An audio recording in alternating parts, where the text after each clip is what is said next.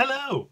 Tis September, and as it's the start of a new month, that means it's also the start of a new mission inspiration over on our Facebook group.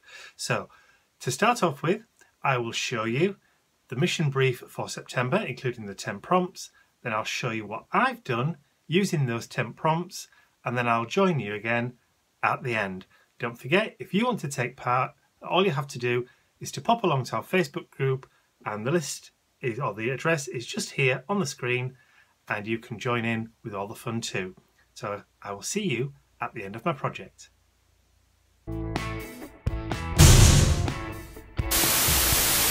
Welcome, Art Agent Specialists. Your mission for September, should you wish to accept it, is as follows.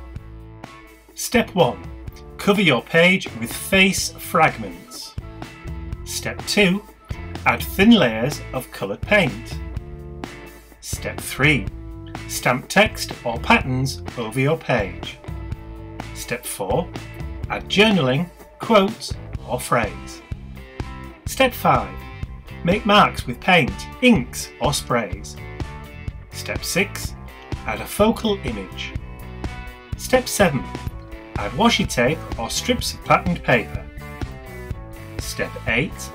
Add colour through a stencil. Step 9 add doodles, scribbles or Zentangles. And finally, step 10, finish with a white border. Remember, this message will self-destruct in 3 seconds. Good luck.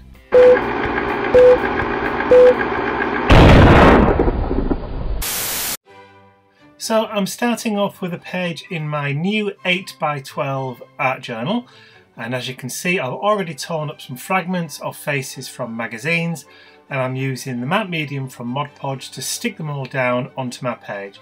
Now I'm not too bothered about getting any wrinkles or bubbles in these as I know I'm going to be covering them over anyway with paint but any bubbles or wrinkles just adds to a little bit of texture.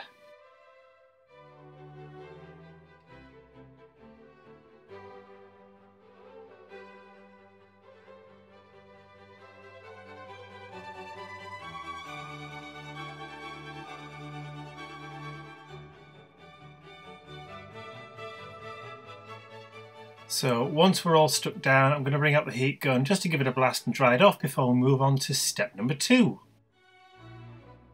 So step number two is to add thin layers of coloured paint.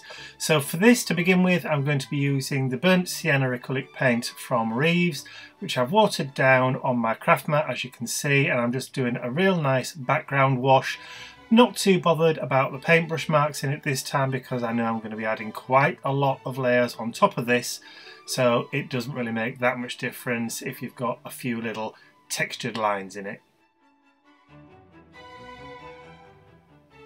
and this is the yellow ochre acrylic paint that I've just added a little bit of water to and I'm just adding some of the yellow onto the background just to bring back a little bit of that warmth into the background.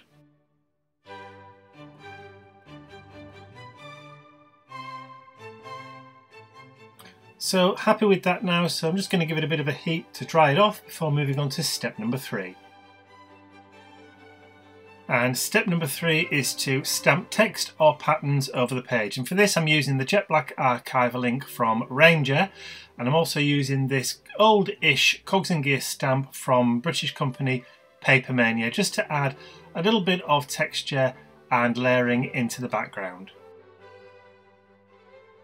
So step number four is to add journaling, quote or phrase. Now I'm using my foodball pen just to add some handwritten journaling into the background of the page. Now this doesn't have to be legible, you can scribble this down as much as you want.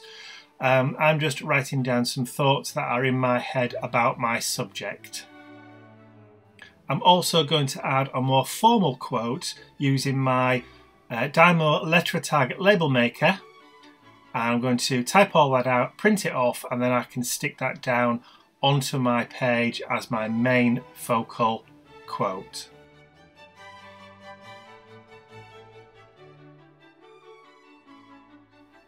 So all my quote pieces are now printed out and I can just peel the backs off because they are self-adhesive and then just adhere those direct straight down onto the page they are quite strong, the adhesive on the back is quite strong, so I won't have to add a sealer coat over the top.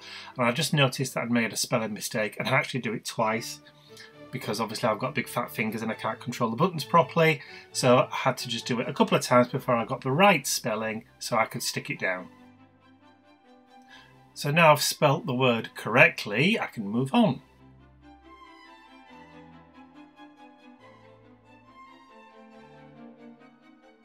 So step number five is to make marks with paint, ink or sprays. Now I'm going to use the titanium white acrylic paint from Reeves and I've grabbed a selection of bits from my mark making drawer and I'm just going to um, add some marks using the white paint randomly around the page.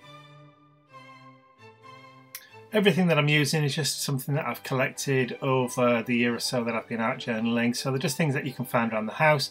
This is a piece of bubble wrap and I've also got the lid from a um, spritz bottle uh, I believe. I think this is an old Dylusions lid. So everything that you probably are having in your stash already.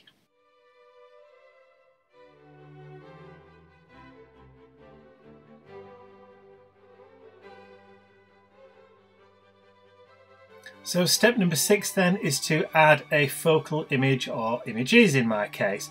So for this I'm actually going to be layering up two or three different things. So first of all I've already die cut out using my Tim Holtz cogs and gears um, deep die, uh, Sizzix die uh, on my big shot and I've just used some grey grunge board and I'm just covering those with a coat of the Phthalo blue or Phthalo blue acrylic paint from Reeves and all I'm using is a, um, a basic craft sponge. It's nothing special. Uh, I'm just cleaning my fingers off there and wiping up all the excess. So this is the rusty paper textured paint that you've seen me use before from Viva Decor and just using a stencil brush I'm going to go over and cover up most of that blue paint. Now you'll see why I've used the blue later on when I add my next focal points or when I stick them all down.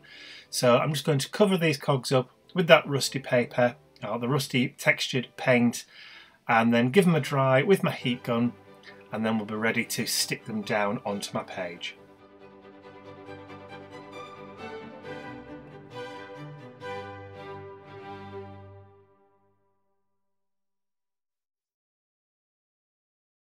So everything's dry and I'm ready to start sticking everything down. So I'm just using this multi-purpose glue from Collall. Uh, this is the type of glue that if you get it all over your fingers, it just rubs off. And I'm just adding it to the back. I'm just sticking those down into the background. And I know they do start to disappear, but I do have plans to um, pick out the edges of those with a white pen later on when I get to do my doodling. And here's my other uh, focal point that I've already printed off and cut out um, off camera and I'm just going to stick that down over the top of my cogs. And as you can see, this is the reason why I added the blue to the back of the cogs is because when I printed it off, uh, it came out bluish rather than black. And as you can see, I did put a slit in the heart and now I've just tucked a cog in there so it looks as though the cog is coming out of that heart.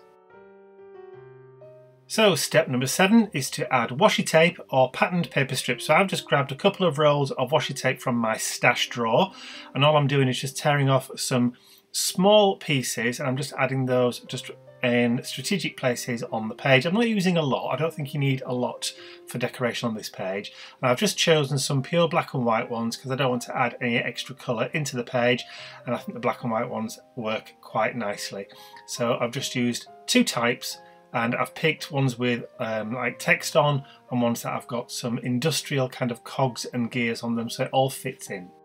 So step number eight is to add colour through a stencil. Now the stencil I'm using here is the Chevron Arrow stencil from TCW and I'm just using the yellow ochre acrylic paint that I've already used on a craft sponge and I'm just going to stencil through in a couple of places around my page just to add a little bit more of that warmth back to the foreground rather than having it all in the background.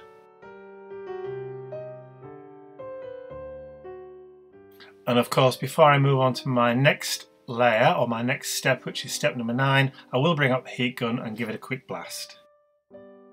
So step number nine is to add doodling, scribbles or Zentangle. So for this I'm using the Signo White Opaque Rollerball pen from the Mitsubishi Pencil Co. And I'm going to highlight or pick out some highlights on the cogs that are sticking out from behind my anatomical heart. So this is the reason why I wasn't too bothered about them disappearing into the background because I knew I wanted to pick them out with a white pen later on. And I will also add in some doodles around my word quotes and word blocks and tie in some of those circles to make them look a little bit more like circuit boards.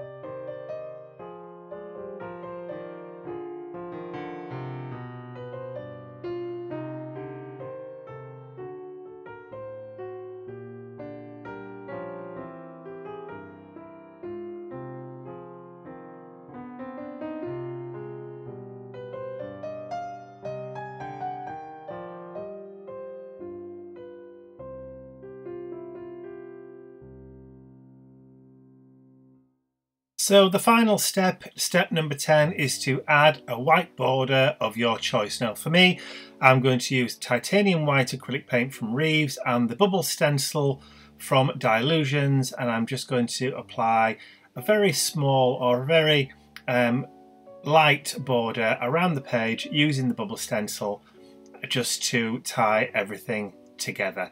So that's pretty much all I'm going to do. Just going to catch the edges with the paint. I'm not going really heavy into it because I don't really think it needs it. It's just a kind of light border to finish off.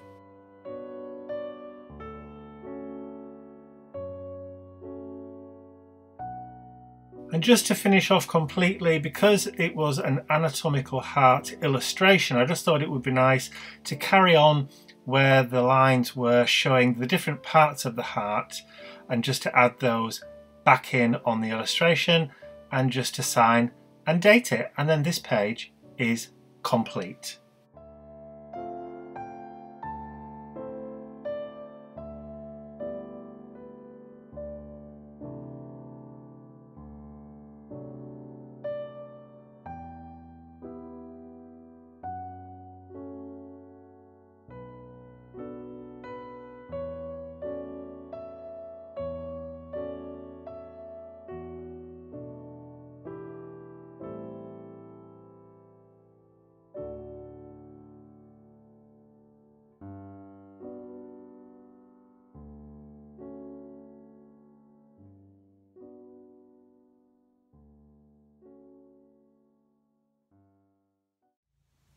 So I hope you really enjoyed watching that art journal page come together. And as I said before, if you want to take part, you want to join in all the fun with the Mission Inspiration monthly prompts, then all you have to do is to join us over at this Facebook group. And that's it. It's as simple as that. It's free to join and then you can play along to your heart's content. So that's all from me. If you have enjoyed this video, please remember to give it a thumbs up, share with all your friends, and if you haven't subscribed to my YouTube channel already, you can do so by clicking the button at the end of the video. That's all from me for now. I will see you all again real soon. Bye for now.